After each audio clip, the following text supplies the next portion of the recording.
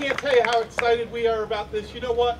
Parks and Recreation exists, and we exist to make people's lives better. And as Alan said, that's what today is all about. You guys are, are making an investment in the quality of life of the kids in this community, and we can't thank you enough for that investment.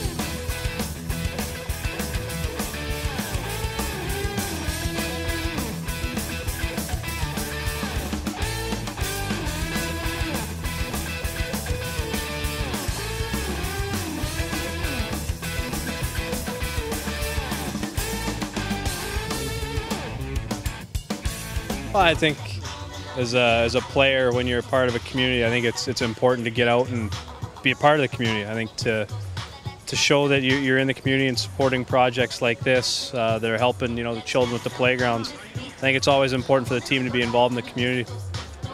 It can be overwhelming, especially when we drove out here to see how many people and how many volunteers you know care about projects like this.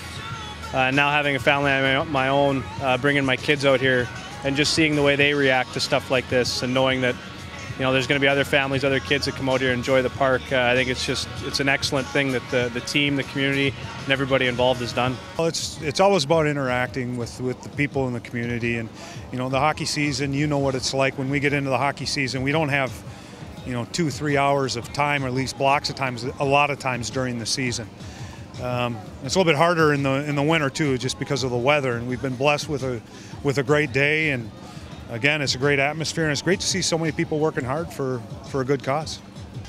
A lot of work and preparation went into it, but I'm overjoyed and amazed. Uh, just the outcome and seeing everybody put their hands in, you know, different generations from the community, also the Blue Jackets and all the volunteers is just awesome. It's amazing. Without the Blue Jackets, I don't know how we would make this happen, but we are so grateful and overjoyed with the collaboration with Columbus Recreation, Recreation and Parks and also the Blue Jackets Foundation. They have been amazing, and we're going to keep supporting us. They'll keep supporting us, and we'll keep supporting them. I will tell you that I've gone from from kind of being a fan today to kind of appreciating the the culture of the organization and and what you all are about.